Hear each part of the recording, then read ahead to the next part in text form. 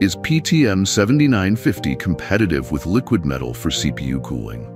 PTM7950 phase change material is a popular thermal interface material for high-performance laptops and desktops. Many users report that they obtain with PTM7950 similar temperatures to liquid metal. Let's take a closer look at these surprising results and try to explain them.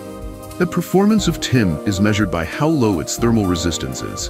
To reduce thermal resistance, we are looking for high TIM conductivity, known as K, and low bond line thickness.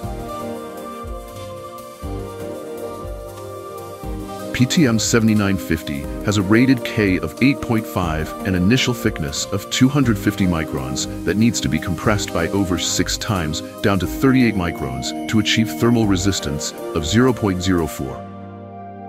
Liquid metal has a four times higher K of about 35 and under half the bond line thickness, under 15 microns.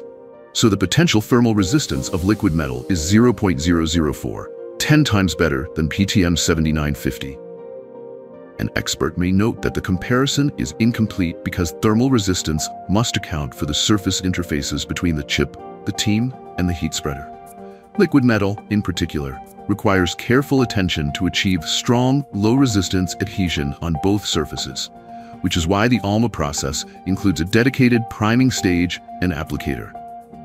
PTM 7950 application may seem easier just placing the pad and attaching the heat spreader, but for effective cooling, the pad must undergo combined phase change and thinning through compression, not all heat spreaders can keep the correct pressure while the pad thickness is decreasing by hundreds of microns. To summarize, PTM 7950 thermal resistance should be quite low if a compatible heat spreader is used, but properly applied liquid metal is an order of magnitude better. Unfortunately, liquid metal joints in many laptops and GPUs are suboptimal, and many DIY users are not provided with proper tools and training for optimal liquid metal application.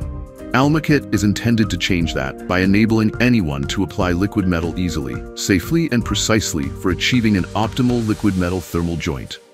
Thanks for watching.